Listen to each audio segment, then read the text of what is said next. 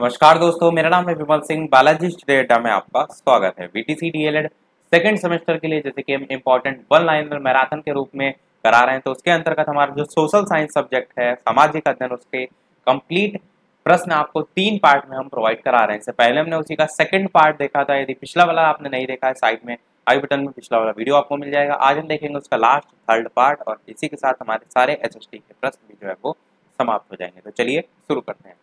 पहला प्रश्न कह रहा है कि उपभोक्ता विवाद प्रतितोष अभिकरण के कितने प्रकार होते हैं?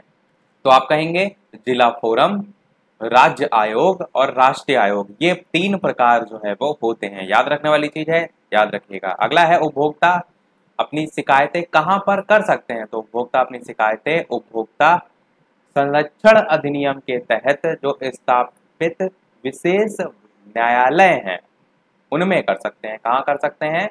उपभोक्ता अपनी शिकायत, उपभोक्ता संरक्षण जो अधिनियम है, उसके तहत स्थापित विशेष जो न्यायालय है, उनमें कर सकते हैं। अगला है उपभोक्ता कितने प्रकार का हो सकता है? तो उपभोग कोई भी व्यक्ति दो प्रकार का उपभोक्ता हो सकता है। एक तो माल का उपभोक्ता, एक सेवाओं का उपभोक्ता। सेवाएँ मतलब किसी भी प्रकार की सेवाएँ जो है, आप देने का कार्य कर रहे हैं तो तब भी तो आप देने नहीं, आप उसका उपभोग करने का कार्य कर रहे हैं, तब भी तो आप उपभोक्ता ही कहलाएँगे। और माल का उपभोक्ता तो आप जानते ही हैं नॉर्मल दुकानदार के सेंस में आप इसे समझ सकते हैं। अगला है कृषि के क्षेत्र में क्रांति की शुरुआत कब से हुई? तो 1960 से जो है वो हुई। और मुख्य तौर पर आप क्या कहेंगे कि असल में कृषि के क्षेत्र में क्रांति की शुरुआत जो है वो हरित क्रांति के समय से जो है वो हुई है। यदि आप सन नहीं याद रखना चाहते हैं तो हरित क्रांति भी लिखेंगे तो भी आपका बिल्कुल सही होगा।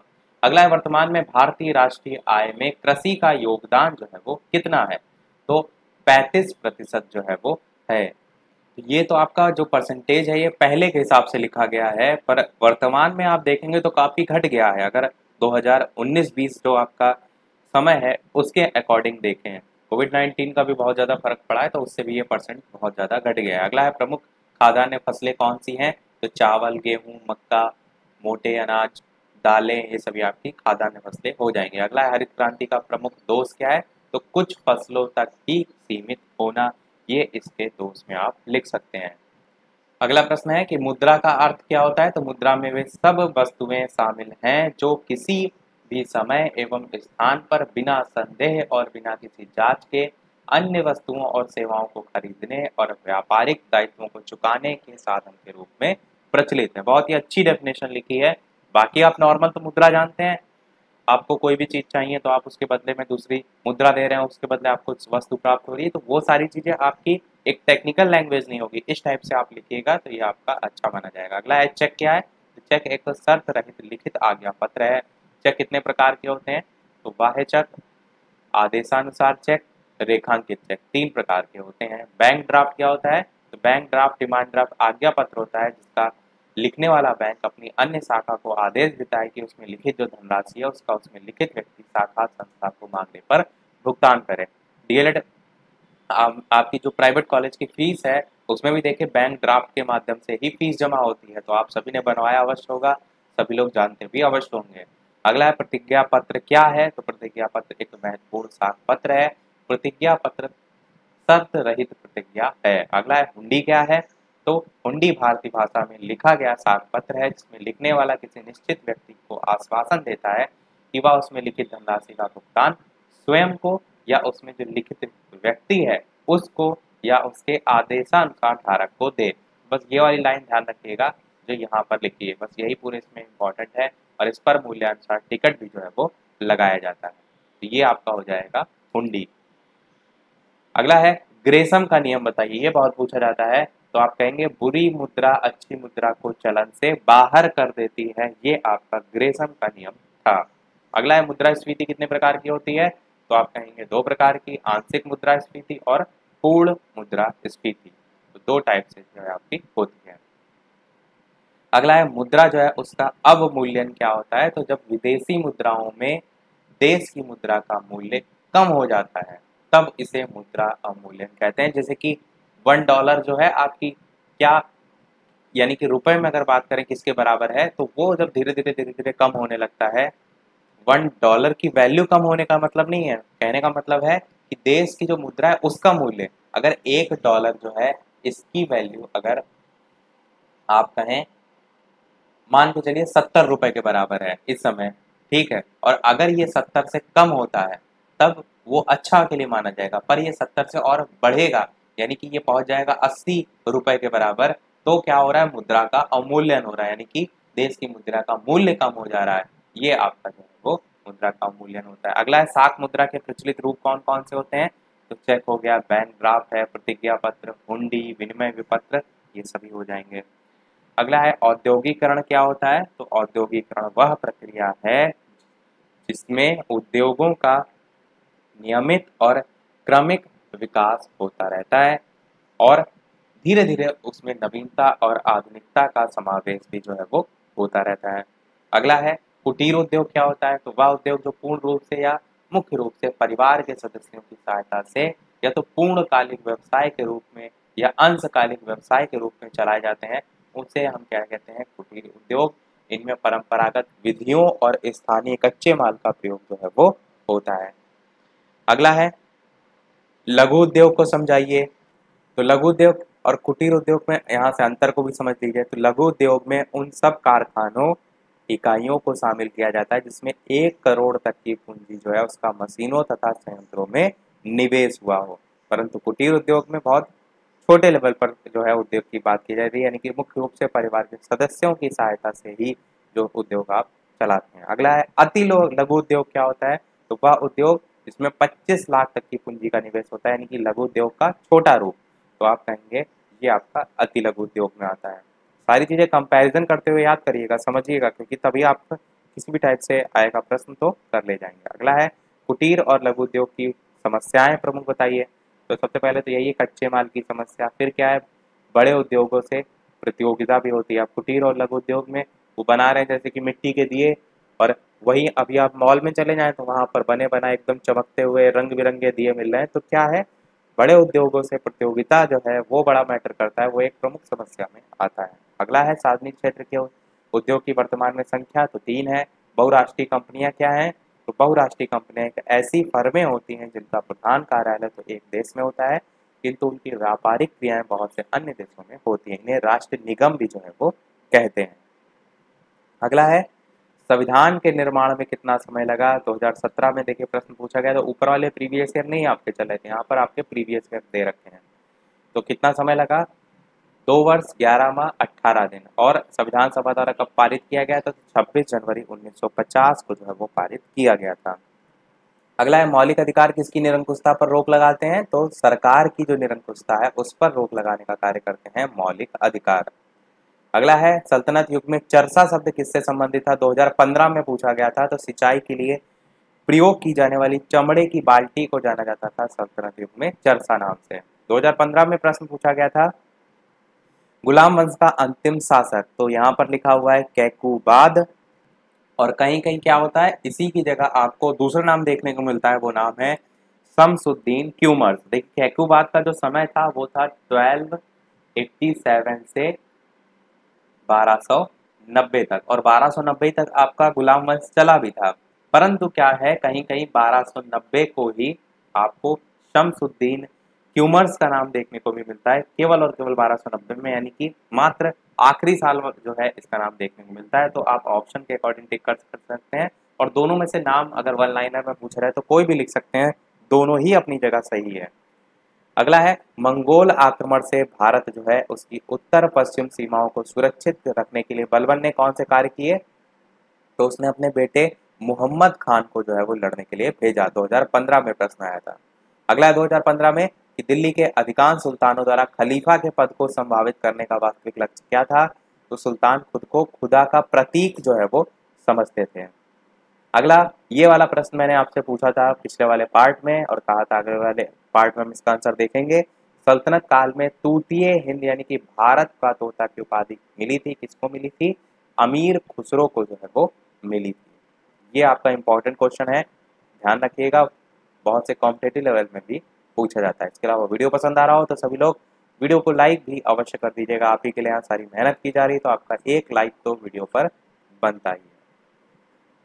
बात करते हैं अगले प्रश्न की कि शिवाजी के समय सर सूबेदार किसे कहा गया था? 2015 में आया था तो किसी क्षेत्र विशेष के प्रतिनिधि या सेनापति को सर सूबेदार जो है वो कहा जाता था। किसके समय में?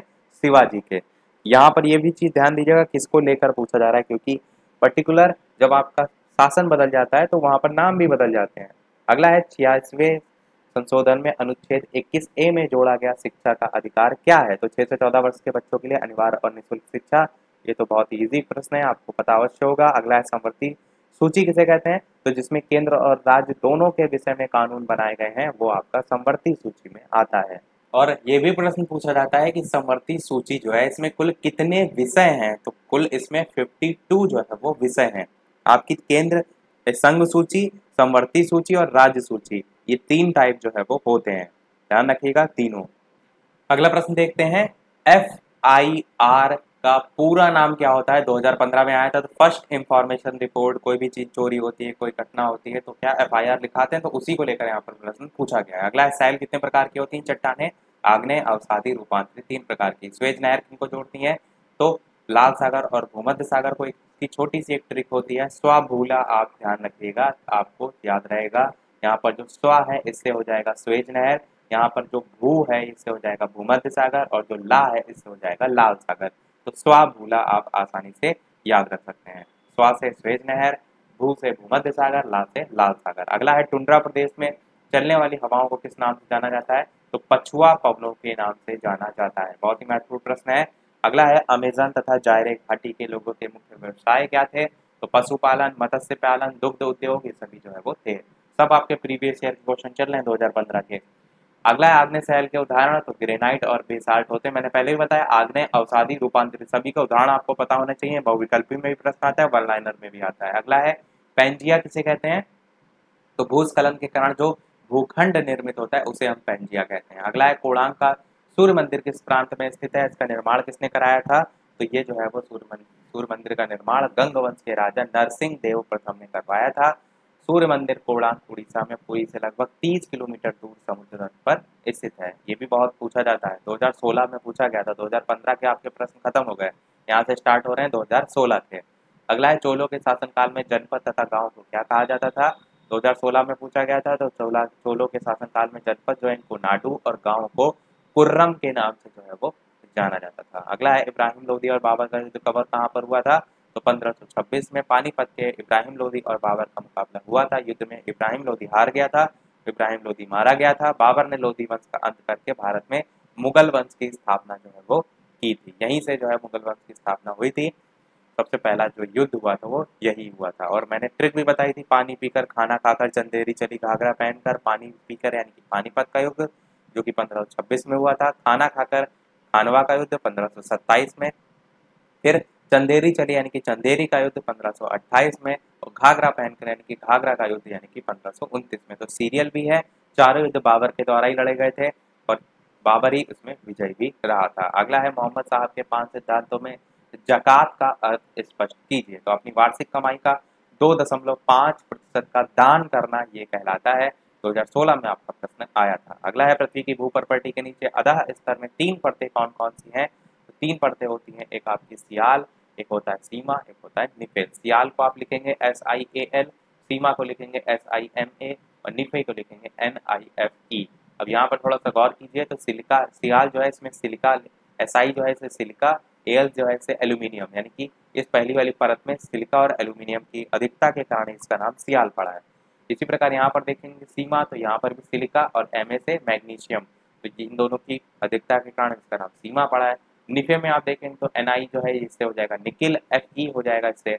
लोहा तो ये दोनों की अधिकता के कारण इसका निफे जो है वो नाम पड़ा है। अगला देखते हैं आग्नेय सैल की विशेषताएँ लिखी है तो ये चट्टाने जीव जंतु और वनस्पति रहित हैं, रवेदार चट्टाने हैं, कठोर और अपारगम में चट्टाने हैं, इन चट्टानों में परतें नहीं होती है। दो हज़ार सोलह में आपका आया था। ज्वालामुखी कितने प्रकार के होते हैं?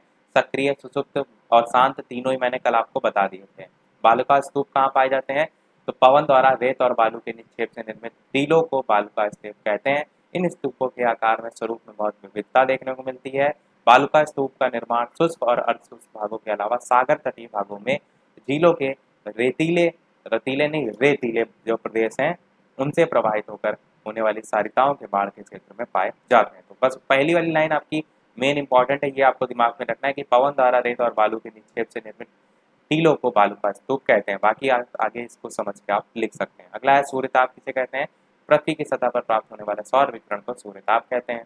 मिस्टल और ग्लीजर्ड किस प्रकार की हवाएँ हैं? तो मिस्टल ठंडी ध्रुवीय हवाएँ हैं जो रोन नदी की घाटी से होकर चलती हैं।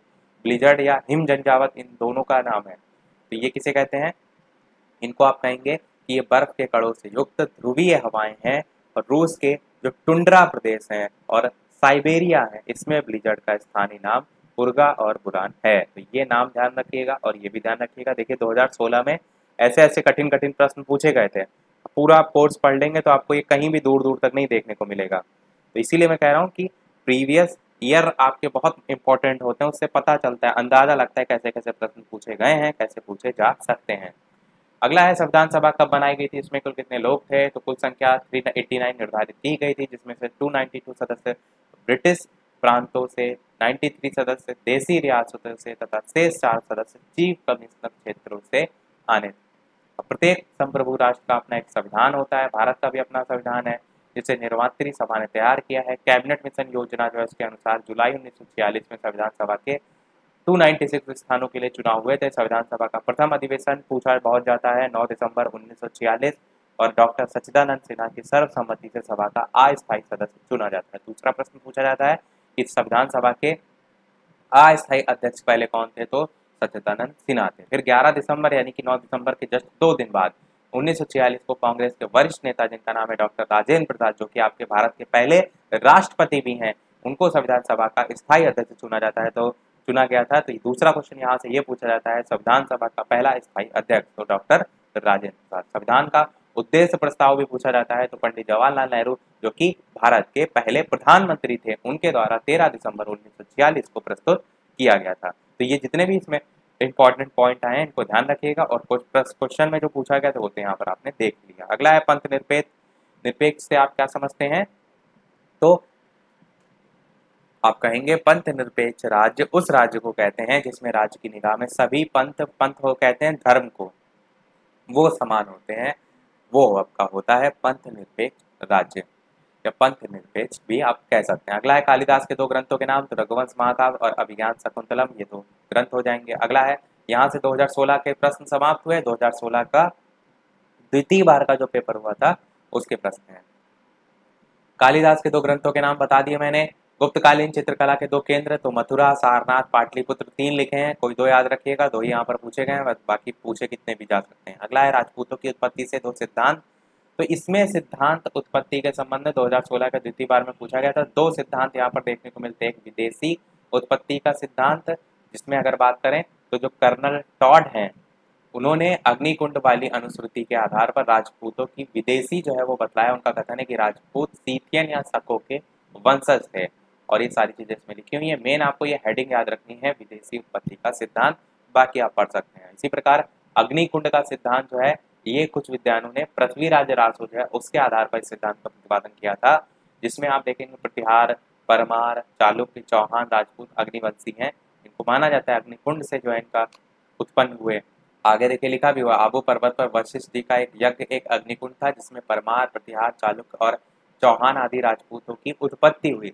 राजपूतों के चार वंश अग्निवादी कहलाते हैं। जातियों से संबंधित अन्य प्रमाण से इनका संबंध क्षत्रिय कुल से स्पष्ट होता है। राजपूतों की उत्पत्ति का यह सिद्धांत ऐतिहासिक दृष्टि से तो आप उचित बिल्कुल नहीं कह सकते, पर मान्यता है तो वो मानी जा रही है। तो ये आपका इसमें हो जाएगा। विदेशी उत्पत्ति का सिद्धांत और अग्निकुंड का सिद्धांत। अगला है, भोज किस वंश के राजा थे? तो परमार वंश के राजा थे। राजधानी इनकी धारा नगरी थी। इस टाइप के प्रश्न पूछे जाने के पूरे पूरे चांसेस हैं। पढ़ लीजिएगा। आप इस टाइप के छोटे छोटे जो क्वेश्चन होते हैं। गीत गोविंद बहुत पूछी जाती है, बहुत ही महत्वपूर्ण। जयदेव जो है, किसकी प्रसिद्ध रचना है? तो जयदेव की जो है वो रचना है। अगला खजुराहो मंदिर का निर्माण किन राजाओं ने कराया था? तो चंदेल राजाओं ने जो है वो कराया था। भक्तिकालीन दो संतों के नाम तो रामानुजाचार्य, रामानंद, गुरु नानक, कबीर, यहाँ पर चार लिखे हुए हैं, कोई भी आप याद रख सकते हैं। जलवायु का अर्थ स्पष्ट कीजिए। तो जलवायु किसी बड़े इलाके का औसत मौसम होता है, एक लंबे समय से बना रहता है। सरल शब्दों में कहें तो किसी एक तरह का मौसम अगर लंबे समय से बना रहता है तो उसे हम जलवायु कहते हैं। मौसम जहाँ कुछ दिनों या घंटों में बदल सकता है, यही मौसम और जलवायु में अंतर होता है कि मौसम तो बदल सकता है पर जलवायु एक लंबे समय तक रहता है। लिखा है वहीं जलवायु बदलने में सैकड़ों, हज़ारों सालों का समय लगता है। तो अंतर भी पूछा जाए तो आप आसानी से कर सकते हैं। अगला है, भारतीय संविधान में कितने अनुच्छेद हैं? तो कितने हैं? टोटल 395 जो है वो अनुच्छेद हैं। अगला है स्वतंत्रता के अधिकार के अंतर्गत आने वाली दो स्वतंत्रताओं का उल्लेख कीजिए। एक स्वतंत्रता का अधिकार, अनुच्छेद 19 से 22 तक पूरा आता है। ये सभी अनुच्छेद इसके अंतर्गत आते हैं, पर इसमें भी आपसे दो ही केवल पूछे गए हैं। तो अनुच्छेद 19 लिखा हुआ है। इसके अंतर्गत छह स्वतंत्रताएँ नागरिकों को प्राप्त हैं। पहला है, संविधान द्वारा प्रत्येक व्यक्ति को भाषण के रूप में अपने विचार व्यक्त करने का अधिकार है। पत्र पत्रिकाओं में प्रकाशित करने की स्वतंत्रता दी गई है।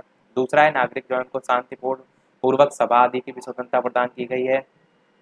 इसी प्रकार आप कहेंगे कि प्रत्येक व्यक्ति अपनी इच्छा अनुसार कोई भी व्यवसाय कर सकता है और मानव हित के लिए समुदाय अथवा संघ निर्माण कर सकता है। देश की सीमाओं के अंतर्गत स्वतंत्रता पूर्वक एक स्थान से दूसरे स्थान भ्रमण कर सकता है। तो ये सभी आपकी स्वतंत्रता में आता है, स्वतंत्रता के अधिकार में आता है। अगला भूस्खलन से क्या तात्पर्य है? तो भूपृष्ठ जो होता है, उस पर सैलों के अपक्षय यानी कि टूटने से प्राप्त पदार्थ गुरुत्वाकर्षण शक्ति के कारण ढाल की दिशा में खिसकना आरंभ कर देते हैं। तीव्र एवं खड़े ढालों पर अपक्षयित पदार्थों के आकस्मिक रूप से खिसकने की जो क्रिया होती है, उसे हम भूस्खलन के यानी कि लैंड स्लाइडिंग के नाम से जानते हैं। अगला है भारत, भारतीय सेना का सर्वोच्च सेनापति तो भारत के राष्ट्रपति होते हैं। सूर्य तथा चंद्रमा के बीच पृथ्वी आता है, तब कौन सा ग्रहण पड़ता है? ये तो मैंने आपको चित्र के माध्यम से भी बताया था कि चंद्रमा स्वयं प्रकाश उत्पन्न नहीं करता, सूर्य का प्रकाश पड़ने से चमकता है। सूर्य पृथ्वी और चंद्रमा के बीच में आ जाती है तो चंद्रमा पृथ्वी और की छाया में आ जाता है, जिसके कारण सूर्य का प्रकाश चंद्रमा पर नहीं पड़ता और चंद्रमा दिखाई नहीं देता है, इसको चंद्र ग्रहण कहते हैं और ये केवल पूर्णमासी के दिन होता है। ये पूरा मैंने आपको चित्र के माध्यम से पिछले पार्ट में बताया था और आगे ये भी लिखा है कि जब चंद्रमा पृथ्वी की उप छाया से होकर गुजरता है तो इसके कुछ भाग पर ही सूर्य का प्रकाश पड़ने लगता है और चंद्रमा का कुछ भाग जब दिखाई देता है तो इसे खंड चंद्र ग्रहण के नाम से जानते हैं। तो ये भी खंड चंद्र ग्रहण पूछा जा सकता है। ये भी ध्यान रखिएगा और ऊपर वाला भी ध्यान रखिएगा। अगला भारत चीन का युद्ध कब हुआ? तो 1962 में हुआ। भारत किस गोलार्ध में है? तो उत्तर पूर्वी गोलार्ध में है। देखिए किस गोलार्ध में है? दो बार क्वेश्चन पूछा गया 2017 में भी और 2016 का द्वितीय बार में भी। अगला है चंदेलों के प्रसिद्ध नगरों के नाम, बुंदेलखंड, खजुराहो, महोबा, अजयगढ़, ये सभी हो जाएँगे। राजपूत काल के चार कवियों के नाम, पृथ्वीराज रासो हलायुद्ध नय, चंद्र, सूरी पद्यम गुप्त, ये सभी हो जाएँगे। भोज प्रबंध किसकी रचना है? तो वल्लाल की है। प्रयाग प्रशस्ति यहाँ पर देखे 2017 के प्रश्न स्टार्ट हो गए आपके। प्रयाग प्रशस्ति तो बहुत पूछा जाता है। हरिशेण जो है, ये हो जाएँगे प्रयाग प्रशस्ति के रचयिता। मौर्य वंश का संस्थापक, चंद्रगुप्त मौर्य, सभी जानते हैं। कुतुबुद्दीन ऐबक ने शासनकाल में किन दो मस्जिद का निर्माण कराया। एक कुत उल इस्लाम हो जाएगा, एक अढ़ाई दिन का झोपड़ा हो जाएगा। और सल्तनत काल में राज्य का सर्वोच्च अधिकारी या पदाधिकारी कौन होता था? तो सुल्तान होता था। ये भी ध्यान रखिएगा। अगला है, हिम नदियों के अपर्दन से जो वी आकार की गाठी है, वो किस आकार में बदल जाती है तो धीरे धीरे घिसती रहती है अंदर वाला भाग तो ये वी जो है वो यू शेप में चेंज हो जाता है, इसलिए यू आकार में हो जाता है। वाष्पीकरण से आप क्या समझते हैं? तो किसी तत्व यौगिक का द्रव अवस्था से गैस अवस्था में परिवर्तन वाष्पीकरण होता है, जैसे कि पानी का वाष्प बनकर उड़ जाना, वाष्पीकरण है। सूर्याभिताप किसे कहते हैं? तो सूर्य से आने वाली उष्मा जो वातावरण द्वारा सोख ली जाती है, उसे हम सूर्याभिताप जो है वो कहते हैं। सारी चीज़ें सिंपल है वन लाइन की है, इसलिए इसमें कुछ समझने वाला नहीं अगला है मूल अधिकार किस पर बल देते हैं? तो सभी नागरिकों के बुनियादी मानव अधिकार के रूप में परिभाषित किया गया है। अर्थव्यवस्थाओं का वर्गीकरण प्रमुख रूप से किन दो आधारों से होता है? तो श्रम और पूंजी दो आधारों पर होता है। उत्पादन क्या है? उत्पादन, अर्थशास्त्र में अगर बात करें तो उत्पादन औद्योगिक प्रतिष्ठानों द्वारा वस्तुओं, सामानों या सेवाओं को निर्मित करने की प्रक्रिया को कहते हैं। उपभोक्ता संरक्षण अधिनियम कब लागू हुआ था? तो 1986 में लागू हुआ था। ये आपका इम्पोर्टेंट है। इसको एकदम दिमाग में रखिएगा। मेगास्थनी द्वारा रचित पुस्तक, ये मैंने आपको पहले पार्ट में बताई थी, इंडिका है। तृतीय बौद्ध संगीति का आयोजन किसके शासनकाल में हुआ था? तो अशोक के शासनकाल में हुआ था। इसमें सब, कोई टोटल चार संगीति हैं, कोई भी पूछी जा सकती है कि कहाँ कौन सी हुई थी। अगला खजुराहो के मंदिर का निर्माण किन राजाओं ने कराया था? चंदेल राजाओं ने कराया था। मंदिर से रिलेटेड आपके सुपर टेट में बहुत क्वेश्चन पूछे जाते हैं, यूपी टेट में भी पूछे जा सकते हैं। पर आप तो डीलेट के लेवल पर दे रहे हैं तो अभी से याद रखिए, आगे काम आएगा। अगला है राजपूत कालीन प्रसिद्ध शिक्षा केंद्रों के नाम। नालंदा हो गया विक्रय शिला नहीं होता विक्रम शिला होता है। काशी हो गया, उज्जैन हो गया, आदि। यहाँ तक 2000 सब 19 के आपके चल रहे क्वेश्चन 2019 का प्रथम बार का। महमूद गजनबी ने भारत के प्रसिद्ध मंदिर पर 17 बार आक्रमण किया था। कौन सा मंदिर था वो? सोमनाथ मंदिर। अगला सल्तनत कालीन राज्य की आय के दो साधन तो उसक जो है वो मुस्लिम से लिया जाने वाला कर होता था, और खराज गैर मुस्लिम से लिया जाने वाला कर। टोटल चार भागों में डिवाइड किया गया था। मैंने पिछले वाले पार्ट में सारी चीज़ें बताई थी कैसे कैसे डिवाइड है और किया गया और कौन किसमें आता है? परतदार साहिल के दो उदाहरण लिखे तो बलुआ पत्थर, चूना पत्थर चा में बड़े की मात्रा लगेगी चूना होगा। और स्लेट है, संगमरमर है और लिग्नाइट है। तो ये सब क्या है? परतदार साहिल के उदाहरण है। एग्ज़ाम्पल से मैंने पहले भी कहा, बहुत प्रश्न आते हैं। विश्व की सबसे बड़ी नदी कौन सी है? तो अमेजन नदी, विश्व की सबसे बड़ी नदी है। सूर्य तप किसे कहते हैं? तो सूर्य तप सूर्य से पृथ्वी तक पहुँचने वाले सौर विकिरण ऊर्जा को सूर्य तप कहते हैं। ऊर्जा लघु तरंगों के रूप में पृथ्वी पर पहुंचाती है। अगला है ज्वार भाटा क्या है? तो मैंने बताया था कि चंद्रमा की शक्तियों के कारण पानी का ऊपर उठने की क्रिया को क्या कहते हैं? ज्वार, नीचे गिरने की क्रिया को भाटा कहते हैं। और बाकी इसमें एग्ज़ाम्पल जो लिखा है वो भी आप पढ़ सकते हैं। अगला है संविधान सभा की प्रारूप समिति के अध्यक्ष तो डॉक्टर बी आर अंबेडकर अगला है भारतीय नागरिक जो के किन्हीं तो मूल अधिकारों के नाम, जीवित रहने का अधिकार, घूमने फिरने की स्वतंत्रता, ऊपर मैंने बताए थे। 2016 का द्वितीय बार के पेपर में जो क्वेश्चन आया था, वही 2019 के प्रथम बार में भी आया। तो देखिए प्रीवियस ईयर आप एकदम रट लीजिएगा। एक ना एक प्रश्न तो आपको रिपीट देखने को हर बार मिल ही जाता है। अगला भारत में हरित क्रांति के जनक तो एम एस स्वामीनाथन। अर्थव्यवस्था की मूल समस्या है? क्या एक तो असीमित आवश्यकताएँ हैं और एक सीमित साधन है। दोनों ही एक दूसरे के एकदम अपोजिट हैं। अगला है, सल्तनत काल का अंतिम सुल्तान तो इब्राहिम लोदी था। इसी को तो बाबर ने हराया था और फिर उसके बाद आपका ये वाला लोदी वंश जो है वो समाप्त हो गया था। और वहीं से आपका मुगल वंश जो है, उसकी नींव जो है वो पड़ी थी। तो आपको ध्यान रखना है, इब्राहिम लोदी और मैंने युद्ध भी बताया था, बाबर और इब्राहिम लोदी के बीच पानीपत का 1526 में युद्ध हुआ था। ट्रिक अभी ऊपर मैंने बताई थी। अगला अशोक ने किस धर्म को राजाश्रय प्रदान किया था? तो बौद्ध धर्म को प्रदान किया था। अगला है, अजंता वर्तमान गुफा, भारत के किस राज्य में है? तो महाराष्ट्र के औरंगाबाद ज़िले में है। अजंता गुफाएँ सन 1983 से यूनेस्को की विश्व धरोहर स्थल में भी हैं। आजकल जो प्रश्न पूछे जाते हैं, वो कुछ इस टाइप से भी आते हैं कि पूछ लिया था इनमें से कौन सा विश्व धरोहर स्थल में नहीं आता है? और वहाँ चार ऑप्शन दे रखा होगा, जैसे अजंता की गुफाएँ हो गया या ताजमहल हो गया, इस टाइप से। अगला है दिल्ली सल्तनत के किन्हीं दो राजवंशों के नाम। तो ये तो मैंने ट्रिक बताई थी गुड़खाव तस्ला में गुलाम वंश, खिलजी वंश, तुगलक वंश, सैयद वंश, लोधी वंश, ये सभी आप उस ट्रिक से भी याद रख सकते हैं। 2019 के द्वितीय बार के सबसे लेटेस्ट के क्वेश्चन चल रहे हैं, और यही हमारे सबसे आखिरी तक लास्ट तक होंगे। वीडियो को अभी तक आपने लाइक ना किया हो, सभी लोग वीडियो को लाइक कर दीजिएगा। आपकी इतनी अच्छी अच्छी मैं यहाँ पर प्रैक्टिस करा रहा हूँ तो आप सभी का एक लाइक तो वीडियो को बनता ही है। और चैनल पर नए आए हो तो सब्सक्राइब करके भी अवश्य जुड़ लीजिएगा, ताकि आगे आने वाला कोई भी वीडियो आपसे मिस बिल्कुल भी ना हो। बात करते हैं प्रश्न की। हर्षकालीन दो शिक्षा केंद्रों के नाम तो नालंदा विश्वविद्यालय और तक्षशिला विश्वविद्यालय जो आप लिख सकते हैं। किस अक्षांश रेखा को भूमध्य रेखा कहा जाता है? तो ज़ीरो डिग्री अक्षांश रेखा से जाने वाली जो रेखा होती है, उसे हम भूमध्य रेखा या ज़ीरो डिग्री रेखा दोनों ही नाम से जानते हैं। अगला है क्या होता है? तो ऐसी सभी प्रक्रियाएँ जिनसे चट्टाने अपने स्थान पर टूटती रहती हैं, टूटा हुआ पदार्थ अपने मूल स्थान पर ही पड़ा रहता है, उसे हम अपक्षय कहते हैं। अपर्दन में क्या होता है? मैंने बताया था स्थानांतरण होता है। अगला है मौसम और जलवायु में अंतर। ये मैंने ऊपर बताया कि मौसम और जलवायु में अंतर पूछा था। देखिए 2019 का द्वितीय बार में पूछा गया। जब किसी स्थान की दिन प्रतिदिन की वायुमंडलीय अवस्था जो है, उसको मौसम कहा जाता है। मौसम में होने वाले दीर्घकालिक परिवर्तन को जलवायु कहते हैं। दूसरे शब्दों में क्या कहेंगे? मौसम अल्पकालिक होता है, वायुमंडलीय दशा को दर्शाता है और जलवायु दीर्घकालिक वायुमंडलीय दशा को दर्शाता है। मौसम और जलवायु दोनों के तत्व, तापमान वायुदाब आदि आदि होते हैं। अगला है वायुमंडल के सबसे निचली परत तो आपकी क्षोभ मंडल होती है। विश्व के सबसे गहरे महासागरीय गर्त का नाम तो मारीपाना नहीं, मैरियाना होता है। या होगा यहाँ पर, या। मैरियाना गर्त यहाँ पर भी इंग्लिश में भी गलत लिखा है। मैरियाना ट्रेंच होता है, विश्व का प्रमुख और बहुत ही गहरा महासागरीय गर्त ये पश्चिमी प्रशांत महासागर में मैरियाना द्वीप समूह से 200 किलोमीटर पूर्व में स्थित है। यहाँ पर देखिए, या सही लिखा है, मैरियाना द्वीप अगला है, मूल अधिकारों को किन परिस्थिति में स्थगित किया जा सकता है? तो आपातकालीन अनुच्छेद 20 और 21 को छोड़कर शेष मूल अधिकारों को किसी भी राष्ट्रपति के आदेश द्वारा अस्थायी रूप से निलंबित किया जा सकता है। संवैधानिक जो उपचार है, उनके अधिकार के अंतर्गत न्यायालय कितने प्रकार का लेख जारी करता है? तो ये आपके होते हैं, बंदी प्रत्यक्षीकरण, परमादेश, निषादेश, निषेधादेश, अधिकार प्रच्छा अधिकार नहीं, अधिकार। आदेश और क्या क्या? लास्ट वाला उत्प्रेषण इसके अंदर भी सारी चीज़ें होती हैं, जैसे बंदी प्रत्यक्षीकरण होता है तो 24 घंटे से ज़्यादा आप किसी को जेल में नहीं रख सकते, आपको न्यायालय के सामने प्रस्तुत करना होता है तो ऐसे सारी चीज़ें हैं, अलग से डिटेल में आप चाहें तो पढ़ सकते हैं। अगला है मुद्रास्फीति के किन्हीं दो प्रकारों के नाम। आंशिक मुद्रास्फीति, पूर्ण मुद्रास्फीति, रेंगती या चलती हुई मुद्रास्फीति या स्कैपुलेशन स्क्यूप्लेशन तो ये आपके चार मुद्रास्फीति के प्रकार या यहाँ पर कोई दो प्रकार लिखे थे, यहाँ पर चार लिखे हुए हैं तो कोई भी दो आप याद रख सकते हैं जो आपको आसान लगे। मैं थोड़ा सा इतना स्पीड में तो चल रहा हूँ, क्योंकि वीडियो में प्रश्नों की संख्या ज़्यादा हो और कम समय में ज़्यादा आप रिवाइज कर सकें, वो ज़्यादा इंपॉर्टेंट है, क्योंकि चीज़ें तो आपकी आपकी पुस्तकों में भी लिखी वहीं से आपको पढ़ना हो तो वहीं से आप पढ़ लें। मैं यहाँ पर थोड़ा सा स्पीड में इसीलिए चल रहा हूँ। अगला उपभोक्ता संरक्षण अधिनियम का पास हुआ था 1986 में पास हुआ था, और अगला वीडियो का लास्ट प्रश्न देखते हैं, उसके बाद एक प्रश्न हम आपसे भी पूछेंगे।